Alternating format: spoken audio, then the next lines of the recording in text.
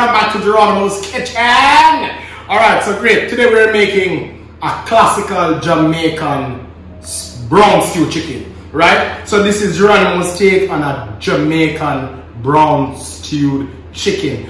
The spicy, nice, semi-sweet. All right, so we're not even going to hitch on it. Today I'm having this, um, it's the last of my beers from New York. It's a Bobcat Pilsner. Oh, that's good. All right, so quickly to our ingredients. On our spice plate, we have some garlic salt, some all-purpose. What is a stew chicken without a little brown sugar?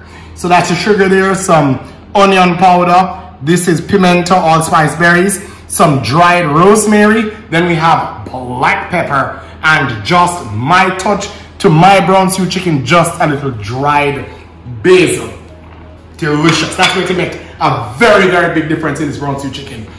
Of course, we have some soya sauce here, then some ketchup. The ketchup is optional. I'm not a very big fan of ketchup, but I, I find that in this recipe, it's, it will add a different level of uh, tangy sweetness. All right, so we'll add some ketchup. And then we have some browning just for color. And of course, here I have some Pickapeppa sauce. On our vegetable and aromatic plate, we got carrot, we got a, and just a medium onion, a uh, three pegs of garlic, of course scotch bonnet pepper, some thyme, and scallion. And that is all she wrote. That's all she wrote. So quickly, and we're just prepping now. We're going to leave this to marinate just for maybe about a couple of hours until we are ready for it later on in the evening. We're going to go ahead and stew it up. So we have some chicken which I've already cleaned with water and some vinegar. For this recipe, we're leaving the skin on. All right, so we're just cutting our chicken into little cubes, right? We just want to cut them in little cubes. That's what we use for, same way we cut up our chicken for the, uh, what was that, curry chicken. We're going to go ahead and don't do what I do, guys. At home, you can do what you want to do, right? If you want to go ahead to the supermarket and buy pre-packaged cut up chicken, that is fine. As I say, I'm leaving the skin on just for an additional juiciness. Of course, you do you. If you want to go and take off the skin, that is also fine. That's, that's all up to you. I'm just cutting this into chunks, chicken chunks. Yeah. And tell me, you see for me, I prefer to use mostly the, the uh, part of the chicken that has the leg and thigh, the dark meat, because that doesn't dry out so fast. But follow my recipe, I promise you. If you follow this recipe, I promise you your chicken not going to be dry and trashy. Your chicken is still going to be very juicy and nice. This thing giving me a fighting. My my look at that. All right. Many people throw away the tip of the chicken. Not me. It's going in. Right? So we got that off. All right. You want me to? Let me get my marinating pan here. We just want to take these up and throw them in. Right? Throw them in. Get that out. Let's continue. My, my. All right. So this is just the last of it. Just gonna throw that in. Let's get our cutting board and our plate to the sink where gonna rinse on our hand here. I remember with chicken guys, you have to be really, really careful with chicken. Really, really careful. Don't want any salmonella poisoning around here. So let's dry our hands, right, right over there. And then we're just going to start the seasoning process. So like here, actually, you know what, let me just go ahead and finish chopping up everything before we combine. All right, so let's put some scallions, what they call green onions. Mm -hmm. Let's chop this real, something fancy, not that really fancy cuts. Remember, all of this just going to cook away for the nice, earthy, floral note of the onions, etc. We're just going to add this straight in, straight into the bowl, right? Get our scallions. Then of course our garlic, watch, bam, just going, go, bam, bam, get them together, just chop them, chop them off, right? Yes, just like so. Mm -hmm. Chop them up, chop them up, chop them, chop them up, chop them up right in our bowl, just like so. Then we're going to go right in with our thyme. Then we have a scotch bonnet pepper here. We're just going to cut off the cheeks. All right, let's get the cheeks off. And if you guys cook, you know that just about now my eyes are burning because that that I just chopped, right in with that. Scallop I just chopped is giving me a fire. All right, so let's clean our knife off, ensure that everything is in. Put our board back there, right? Want our knife back there too. And then, there you have it. We're going to add our, let's add our dry ingredients right in. Beautiful.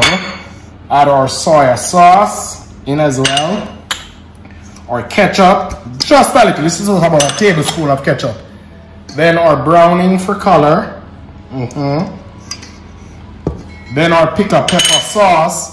And all you guys out there, you what you can do, you can trade out your pickled pepper sauce with Worcestershire.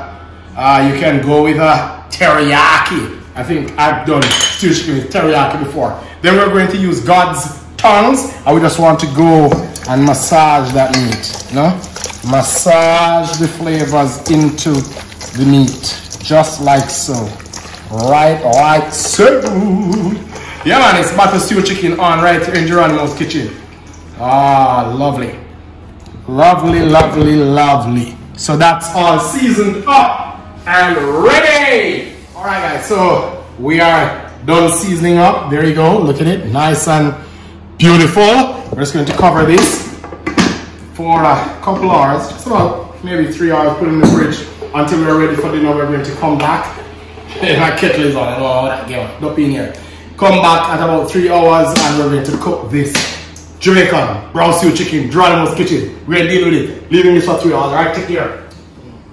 Wow. All right, so we've been waiting for some hours now. Our chicken is perfectly marinated. Now night outside, you know, so it's a lot. It's been going for a while. You can smell all it. I think everything is now infused into the meat. We have our cast iron skillet on and we're going to do our cooking in. In the meantime, while that oil is heating up, we're just going to prep these that we have on the counter. We have some carrots. We're just going to get out some nice little cuts there nice little cuts on the carrot, you know, before we get it in.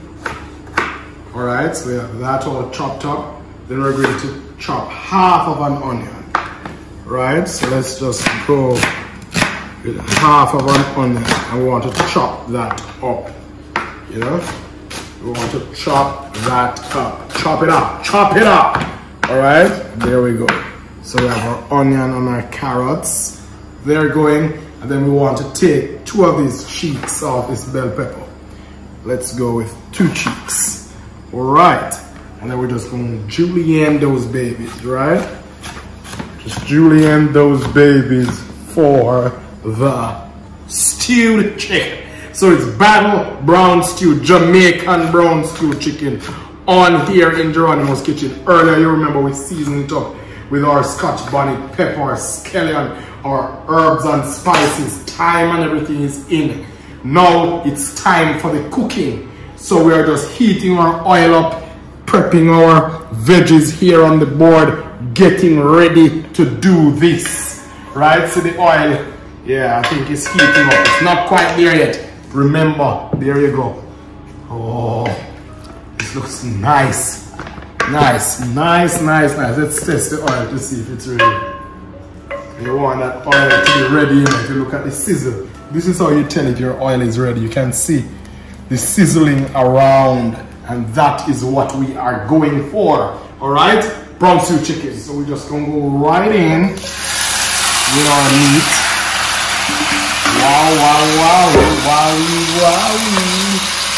Alright, and what we want to do is that we want to cook this right just for a couple minutes until the skin part gets a nice caramelization on it. Oh gosh, look at that. You can see, look here, stew chicken is such a nice hearty meal. You can smell all the flavors, all the herbs, the sweetness of the of the um the pickle pepper sauce and the ketchup mixed with the soya sauce and you know it just smells so nice. This is the part where you can just you can smell all the flavors coming together. So we're just going to saute this a bit just so we can get a nice little crust on it. Then we're going to go in with our veggies, add a little hot water. Matter of fact, let's just, you got a secret. Get a little hot water in your basin here. You don't want too much water. That we, this is the basin that we use to, to season and marinate our thing. Just clean the bowl. Yes, and that's a basin. Whoops, there, spilling all over the place. Just clean that bowl with the, uh, with some hot water. And then when we're done, we're going to pour that baby right on over our stew chicken. Yep, yep, yep, so, yeah. Getting it. Look here, and friends, we're not going to cook this forever. I know some people want to cook stew chicken for two hours. When them done the meat, mash out and the use again. Not in Jeronimo's kitchen. What I want you to do as well is tell me what you eat with your stew chicken. Is it boiled dumpling and yams and banana and so? I thought of doing that. But right on the back burner here, I did some nice shelly white rice. Oh, and stew chicken, guys, is that thing we Jamaican people eat at any time of the day.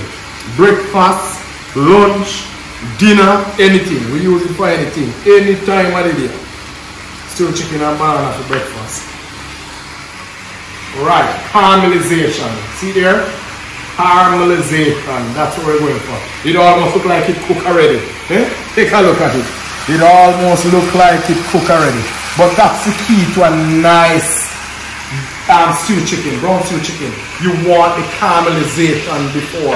Come in and show them. Look, I want you to right in. You can see the caramelization on the meat caramelization on the meat. Alright, so now that we got that all caramelized and done, we're going to go in straight in with our veggies, right on over. Alright, there you have it. There you have it. The Veggies are in. We're going to work the veggies in because there's spring water. In the pot, in the pot, in the pot. Work the veggies right in so that the flavors of the onions and the peppers and everything start to infuse in the stew chicken. Oh Lord, look at that. Ooh, Lordy, Lordy. Jamaican stew chicken, man. Nothing complicated. Then we're going to take our water right now and we're going to add it in. add that baby in right, just like so. Just like so. See here? And you see, I want you to realize as well how even after I pour the water in, there is no, the, the, the, meat hasn't changed color. It's not white and that's because we already got a caramelization on it. So the meat has already taken its color. Many people just put it in toilet around, pour water on top of it. Nah, the meat becomes white. The skin, when it's cooked, is still white, even though you have your brown stuff. So we're going to cover this now and then we're going to leave it to simmer. We're leaving that to simmer just for about 15 minutes. We'll check it periodically, turn it around and so until the sauce starts to thicken and reduce into a nice gravy. And then we're going to taste it, make sure that seasoning is on point, and then we're going to take it, put it on a plate, and we're going to have it with some nice white rice. Jeronimo's Kitchen, butter stew chicken. Chef Jeronimo is on top. Watch me. All right, so this has been simmering. I've been opening it really and just stirring around. That gravy is thickening up pretty nicely. Oh my lord. Yes, you know sometimes, look here, this is gravy naturally, see there? Naturally. But guess what? Don't be afraid guys. If your gravy long, it's because you put too much water into it. Right? It's gonna make that simmer for another couple minutes. If your gravy long like um, tea, is because you put too much water into it and you may need to remove some or allow it to boil down or don't be afraid to mix up with cornstarch and pour it thicken the gravy. Nothing wrong with it. I mean, nobody tell you nothing.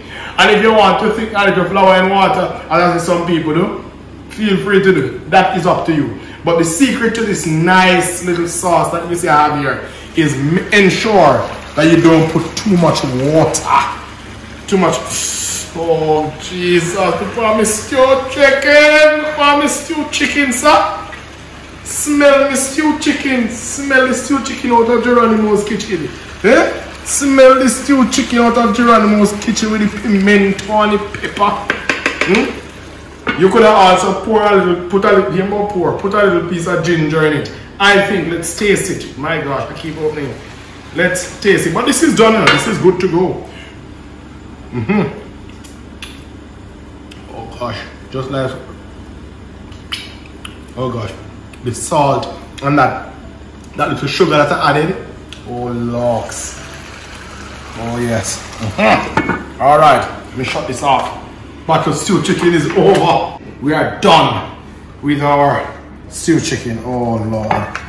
Let's get the sauce. You see, I chopped some parsley and I put it on it. Oh Lord, see there. It's a final version of this nice Jamaican stew chicken. Oh gosh, I need to taste this man.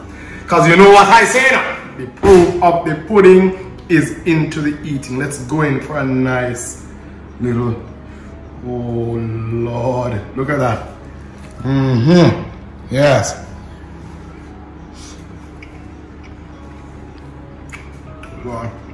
Mm-hmm